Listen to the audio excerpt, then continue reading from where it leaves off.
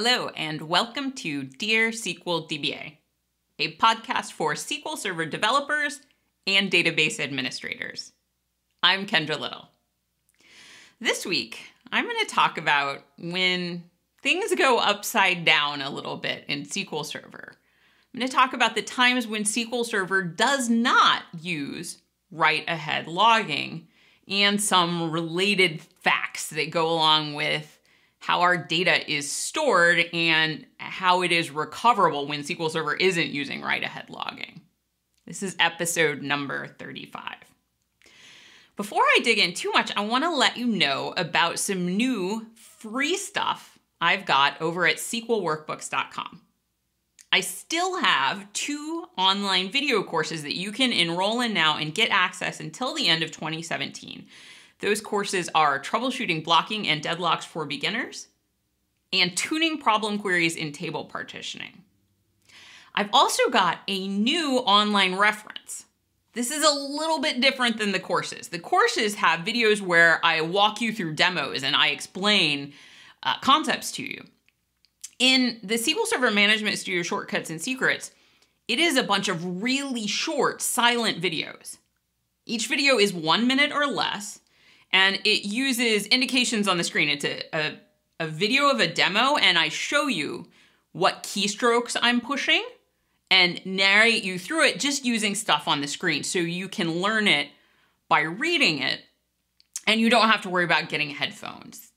These are more like long animated GIFs than like a real video. Below each demo, I've got a summary of the shortcut keys that I use in it so you can read them there as well.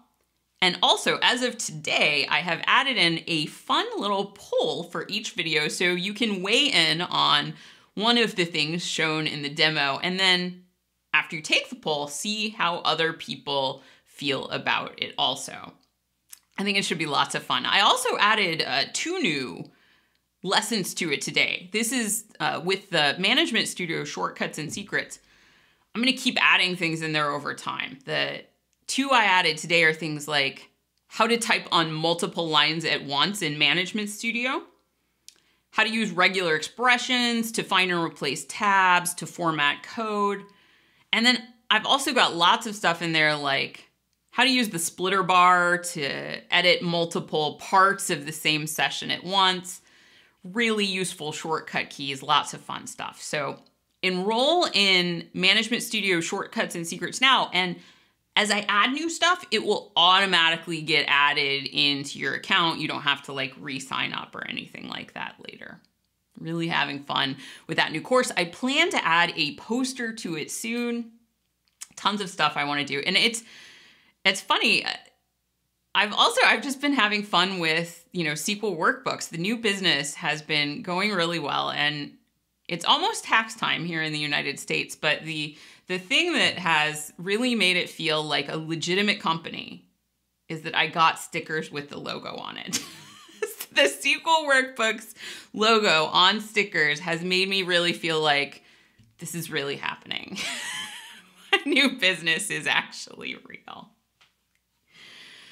Other fun stuff. While I was in Portugal, I went to Portugal and I taught a one day session before SQL Saturday Portugal. I taught on indexes, on classic row store tables. And then the day after I taught that session, I attended a another pre-conference session. I attended a session by Kalen Delaney on in-memory technology. And it was really, it was great. I, I love teaching training sessions. I love attending them. And Kalen is a fantastic teacher. So it was really interesting and it was funny because I, I pre-recorded some podcast episodes before I left town so that the podcast could publish while I was out. And I think that on the day before I attended Kalen's session on Hekaton, I think that the day before my episode about write ahead logging went live. And in that episode, I talk about how learning about write ahead logging in SQL Server was a real light bulb moment for me, and it helped illuminate all of this stuff about how SQL Server uses the transaction log, how data is stored in data files, and how all this stuff works. It, it made it easier for me to understand all these other concepts. And then the day after that episode goes live, I go to this session on in memory OLTP and everything is upside down. There's all of this stuff that's different, which to me is so exciting. And I realize if I was to go back and re record that podcast episode on Write ahead logging, I'd have a little slide at the beginning that was like, what I'm talking about today does not apply to Hekaton. it's it's it's true and it's accurate for everything except in-memory OLTP in SQL Server. When it comes to in-memory OLTP, do not assume that anything is the same. Just don't assume. Cuz it's really uh, it's rebuilt from the ground up and it does things differently. It was really rewritten from the ground up. I mean, the in-memory OLTP, aka Hekaton, uses a lot of the same parts of your SQL server, and it's kind of cool how integrated it is. You see everything in Management Studio. It uses the same transaction log file in a database as other tables, but in order to make things really, really fast, they really do not appear to have stuck to any of the like the uh, rules about how they did it before. Things are very, very different when you look at them closely, and it's all designed to get around specific bottlenecks for OLTP style workloads, workloads that want to do very lots of very small, very fast modifications to a table. So I'm going to try to keep the terminology right when I when I talk about this stuff today. Terminology is tough and it's really hard to not say the wrong word by accident. But brief overview. When we talk about tables in SQL Server, we have disk-based tables. These are the classic tables that we know and love. Uh, the tables we've had for a really long time are row store tables that are stored in our data files in SQL Server. Yeah, when we insert data, we write ahead to the log, but data is flushed down from memory into the data files, and that's where those tables live. So if we're gonna do a read and the data we need for these classic row store disk-based tables. If the data we need isn't in memory, we'll go to the data file and read the data into memory so we can access it. Our column store tables, for the most part, our column store tables are also disk-based and not required to be in memory. If we have a, a disk-based clustered column store index, or if we create a non-clustered column store index on a disk-based row store table, it, it uses columnar format, but the same thing is true. Like if the stored in the data files, if we need it in memory, we'll read it from the data files and pull it into memory. These new in-memory OLTP tables, otherwise known as Hekaton, are, they live in memory. That is where our data is. It is in memory you can create column store on an in-memory table, and that column store table is different than other column store tables. And I'm not gonna dig into all of the details of that. That's super specialized topic. But of course, there's always like an exception that makes your slide more complicated, right? And that's the one where you're like, well, some column store are on in-memory OLTP tables, and they're they have different requirements. So when we're writing into in-memory OLTP, we're putting data in this table that lives in memory and is specially architected to make these OLTP actions really, really fast. We do write to the transaction log if we've said we want the in-memory OLTP table to be durable. When you create these in-memory tables, you get to say whether or not you want the data to be there after you restart the SQL Server instance, right? Because the data is in memory. And if we cut the power and the data was only in memory, like if we hadn't put the data anywhere else besides memory, if the power to the server went away or we restarted it, the data would just be gone. So when you create your in-memory OLTP table, you get to say whether or not you want it to be durable. And if you say you want it to be durable, when writes happen, it will write information to the transaction log for the database. the very same transaction log you're using for other things, but it doesn't use write ahead logging. It does logging, but not write ahead logging. It waits until you commit your transaction to write it to the log. It writes at commit time. This is different. Like if I do begin tran and I do a bunch of, you know, insert, insert, delete, insert, it's not going to go and put anything in the transaction log until I say commit for in memory OLTP, aka Hekaton. In other words, so I'm not writing ahead, I'm just writing at commit and what I write for that transaction is just in one big log record. So, and this is done to try to optimize the writes to the log so it's not super chatty and it's just putting this in one big log record. So that's different. It's not write ahead logging, it is logging for the durable tables. There's another thing that's different. It doesn't write this in memory stuff to your data file all of our other tables, you know, they're resident in the data files, and memory OLTP doesn't do that. It has a different form of files that it will use if you want your tables to be durable. Like if you want the data back after a failover or a power outage or whatever, it has something called checkpoint files. It doesn't only keep the information in the transaction log. And this makes sense because if we only kept the information in the transaction log, our transaction log would grow and grow and grow and become giant. And we're using it not just for our Hekaton and memory OLTP stuff, we're using it for other things too. So we need to be able to, you know, have chunks of that log be able to be reused. So we don't want our durable you know, in memory tables, we don't want them to only be in the transaction log when it comes to disk. SQL Server, when you say you want to use in-memory OLTP on the database, you have to create a special file group for in-memory OLTP. And you create it, I mean, technically you're creating a file group. Like that's the, in the syntax you use in the T-SQL, or it says that in the GUI, but it's really, when you look at it, this file group that you're creating is a folder on disk that is full of a bunch of files. These are called checkpoint files. now, I mentioned in my last presentation, I have a, I had a drawing where I was like, and SQL Server doesn't ever copy from the log file to the data file. Now, that's totally true because SQL Server doesn't copy from the log file to the data file. It doesn't do that for any kind of table.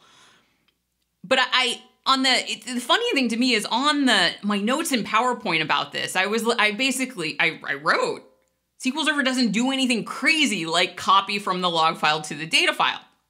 So that is technically accurate, but there is actually something similar ish that happens for in-memory OLTP and it's it's kind of interesting and crazy. And memory OLTP, like it writes to the when you when you commit a transaction, it writes that whole transaction to the transaction log in in an optimized log record. And then after it's in the transaction log over time, it, do, it doesn't want the transaction log to have to keep growing. So it has processes for in-memory OLTP that look at this data in the transaction log file, and it's it's only got committed committed rows for in-memory OLTP because it happens at commit time. And it synchronizes it over to the checkpoint files that are just for the in-memory OLTP stuff. And if you are using in-memory OLTP, this is important to know because if your transaction log is growing and growing and growing, knowing okay, I've got to have, uh, you know, all of the stuff in my log, like whether or not my log needs to grow or it can reuse part of it is dependent on whether it has copied, you know, which transactions it has successfully populated in the checkpoint files so that if the power is cut when SQL Server starts up, it is able to populate my data correctly because it'll use those checkpoint files to populate your in-memory tables as well as your transaction log because I may have some transactions that are in, you know, if the power just goes out, I've got some stuff that is in my transaction log that hasn't made it over to the checkpoint files yet. So I was like, SQL Server never copies to the data files, and that's true. But SQL Server does copy data from the transaction log over into the checkpoint files. And I shouldn't say copy. It's it's not like it it's you know just like it's not like the checkpoint file is just the same format as the transaction log. Don't want to say that. It is quite complicated what is in these checkpoint files. There are different types and they can be merged and there's all sorts of of complexity that goes on there. But there are uh, threads that read from the transaction log file when it comes to populating and managing the checkpoint file. So as I was learning this, and I'm like, wow, wow, wow. It was like, you know, this explosion of wow is in my head. So it was a good day. And also interesting, I mean, also kind of mind blowing to me, and in a good way, is the fact that we now have the option to do non logged tables in in memory OLTP. Remember how I said you can choose as to whether you want the data to be there after you restart the SQL server. If you want the data to be there after you restart the SQL server, it's going to be logged. But if you don't, and sometimes you really don't, like I've worked with lots of different processes that use temporary objects or temporary staging tables in different ways where we're going to run a bunch of code that's going to populate and manipulate data in some objects for a little while. And if this code fails, if it's interrupted for any reason, the next time we run it, we're just going to start from scratch. We're not going to go look at anything mid flight. We're just going to reiterate the process. We don't care if the data in those temporary objects is lost. Well, with in memory tables, if you create them as non-durable, the data that you put into them is not going to go into your transaction log. And that is kind of awesome. In fact, that's really, really awesome. With our classic stuff in SQL Server, there are ways to achieve minimal logging and to minimize logging, to log less. But this is the way to say, I don't want to log any of the data that I'm inserting. This isn't going to make everything faster. It's only going to be suitable to really specific things, but of course, it's really easy to imagine a lot of cases where you're like, oh, this could be extremely powerful. And there are some things where just using it for really select uses could make things much, much faster. And now that in SQL Server 2016, Service Pack 1 and later, now that we have the option to use in-memory OLTP even in standard edition and lower editions in SQL Server, with some limitations. We don't get all the functionality, but there are some interesting scenarios that come to light that don't require Enterprise Edition, right? So, very, very cool. Just the different ways to potentially uh, use this and speed things up, even in parts of your application that aren't the most critical, where you don't have Enterprise Edition. So, lots to learn if you're going to use this stuff. Resources to learn more. Kalen has a white paper out on in-memory OLTP in SQL Server 2016. It's got sections on the transaction logging, as well as all these checkpoint files and tons more stuff. The 2016 version of her in-memory OLTP book will be publishing soon with Redgate. She said that that should be coming out soon. The 2014 version of that has a free PDF download available, so um, that might, I, I don't know 100%, but there may be some cool free stuff available for the 2016 book as well.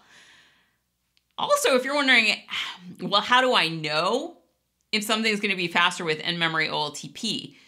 If you are a member of the SQL Skills Insider group, they send out a newsletter. I think it's every I think it's two a month. I think it's bi-weekly, but it's not twice a week. I think it's twice a month. You know, that term's always crazy. But Erin Stellato of SQL Skills, in a recent newsletter, it was number 149, she did a demo and published the scripts for an example of how you could test a process and look at wait stats and perf counters and all sorts of cool stuff. I, I think the perf counters were involved. It's actually been a couple weeks since I watched the video, but I watched it. It was great join the SQL Skills Insider newsletter, and then on the blog post uh, associated with this on littlekendra.com, I'll put in the show notes a link to uh, where you can download those if you aren't on the newsletter already. But if you aren't on the newsletter, you should totally join because they regularly publish really cool uh, demos on different topics in there. I wanted to also thank SQL Saturday Portugal for a fantastic event. I had a terrific time teaching and learning and meeting other people, and I received, I know you can't see this in the audio version, but I received a giant orange fish that I traveled with to the Algarve coast. And then through Amsterdam on the way home, I managed to fit a giant stuffed orange fish into my luggage. It was a it was a miracle. Thank you, Andre, for for one of the strangest gifts I've ever received, but but I truly I truly love it. And if you're like well, I want to go to the beach in Portugal too. You have the opportunity. There is another conference coming up in Lisbon soon. It's called the Tuga IT Conference. Tuga is a nonprofit Portuguese association. So this isn't a SQL Saturday event like I went to. It's a different nonprofit putting on uh, three days. It's May 18th through 20th. It's three days in Lisbon at the Microsoft facility. It is a beautiful facility. And it's on SQL Server, but more stuff too. There's also sessions and workshops on SharePoint, on Office 365, Azure, more stuff. Slava Oks of Microsoft is going. I think he's doing a workshop. Anthony Nocentino uh, is giving a workshop as well, I believe. So check out and see if you could make a business trip to Portugal as well in May 2017 for the Tuga IT conference. And if you do, I highly recommend going down to the beaches around. I was in Faro and just really enjoyed the beaches and the food and the desserts and the friendly people. It is just a wonderful place to visit. I won't be at the Tuga IT conference, but if you go, I, tweet your photos. I would love to see them. Thank you so much for joining me today. If you've got a question for Dear SQL DBA, I would love to hear it.